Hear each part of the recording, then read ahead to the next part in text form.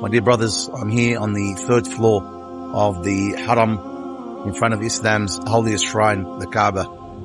I highly encourage all my dear brothers and sisters to come and visit these two places, Mecca and Medina, and to enhance their spiritual growth. Uh, instead of holiday, holidaying here and there uh, in some Eastern or Western or European country, uh, take a holiday here or be a spiritual holiday where you will earn great rewards and virtues and merits. And our dear Prophet ﷺ, uh, in a, in a hadith informed that Iman will come back to the two mosques, Mecca and Medina, like a snake comes back to its hole. May Allah the Almighty accept from us and from you our good deeds. Assalamu alaikum wa rahmatullahi wa barakatuh. إن الله وملائكته يصلون على النبي. يا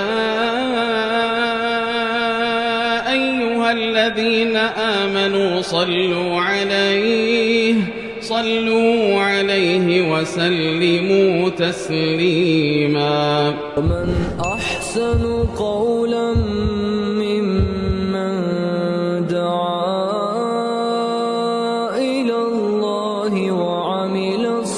صالحا.